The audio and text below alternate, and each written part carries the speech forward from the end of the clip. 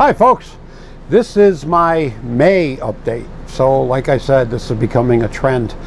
Things are so boring RV-wise that in order to put any videos out at all, I either have to do stupid things like this or have to show you those silly little cooking videos. And so this is what I'm doing for the month of May. Um, right now it's 86 degrees, feels like 97. There's a 10 mile an hour wind off the ocean, humidity 61%, and it's only May and it's already getting brutal. So it's cut my outdoor activities down quite a bit. I mean, I used to walk around the park. This is just about a nine and a half to 10 acre park. And I used to walk around it at least twice every morning to get my exercise. Well, I go out there now, and by the time I go out there, 7.30, 8 o'clock in the morning, it's already in the upper 80s. The humidity's in the 90s because there's no wind. And so I, I, I cut all that out. So, uh, anyway, update number one. I still have the electronic cigarette. It's been six months and this thing is still working like a champ. I have absolutely no desire to go back to regular cigarettes. This thing is working super. So now my next, the thing I want to try to do next is to cut down the amount of nicotine in the liquid that I buy. Right now I'm still, I went from 24 down to 18. 18 wasn't really cutting it. I went back to 24 but it's working. So I really don't see a major reason why I need to change anything.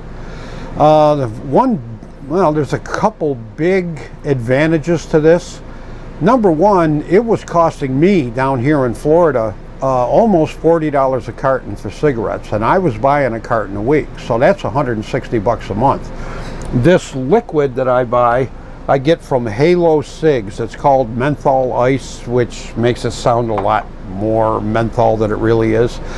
Um, cost me with shipping $23 for that bottle and that bottle lasts me a month so I'm saving 140 bucks right off the bat number two when I went to the doctor he checked my lungs and my lungs are getting nice and clear there's a little still a little bit he said I can still hear a little bit down on the bottom where it's still a little congested. But your lungs are clearing up nicely and it's pretty obvious that you really did quit smoking. So he put former smoker on my chart, which I thought was great. Um, the other, speaking of the doctor, um, he put me on a blood pressure medication called metoprolol and I take them twice a day. I have one with my coffee in the morning and then I have another one at night before I go to bed. And since I've been taking that, number one, my blood pressure is back down into the 120s over the 80s. And another side effect is my atrial fibrillation, the AFib, regular heartbeat, has gone away. So now I don't have that anymore. So I don't need blood thinners or any of that other nonsense. Um, as far as my cholesterol, he said, yeah, it's a little high, but it's not high enough where we need to medicate you to bring it down. You just need to exercise a little more. And I go, well, yeah, but it's freaking hot outside, so I can't. Same with the blood sugar. The blood sugar is like 10 or 20 points above where it should be, ideally, I guess, for a 20 year old or something. So he said, again, that's a little high, but it's not high enough where we feel that we have to give you any medication to take care of it. So that's good news too. And again, he said, you just exercise a little more and try to cut out as much sugar as you can. Well, I have maybe a half a spoon of sugar with my coffee in the morning. All the rest of the sugar comes from alcohol. So, so well.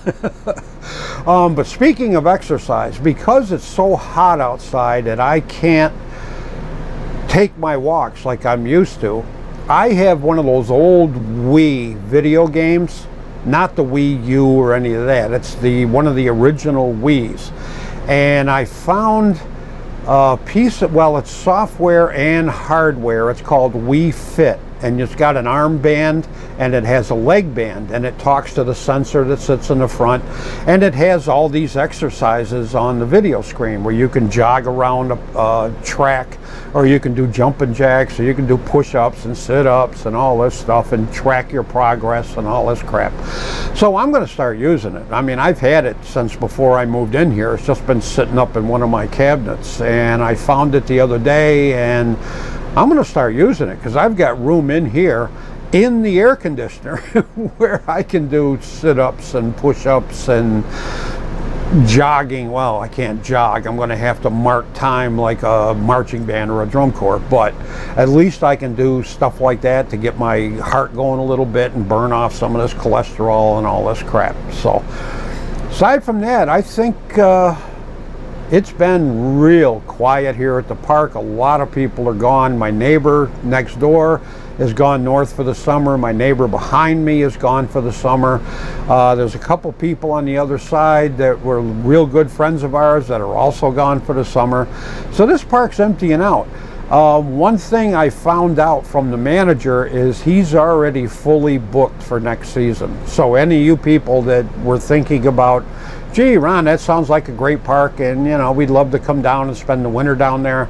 It's too late. He's already booked. The other thing is the manager has had, the manager and the owner have had so many requests from people looking for permanent sites because the, the, economy still sucks. And so a lot of people are selling their houses, doing like I did, selling their homes, buying RVs, and then they find out, well, maybe we don't really have the money to travel, but we have the money to buy a nice RV and put it somewhere where the weather's nice.